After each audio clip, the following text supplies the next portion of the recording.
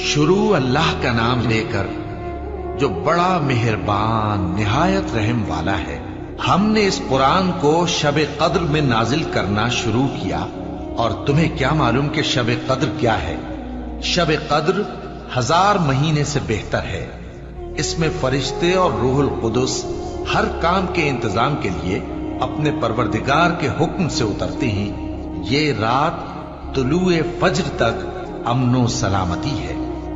कि रसूल अल्लाह सल्लल्लाहु अलैहि वसल्लम ने फरमाया शब कद्र को रमज़ान के आखिरी अशरे की ताक रातों में ढूंढो। सही बुखारी, हदीस नंबर दो हज़ार सत्रह।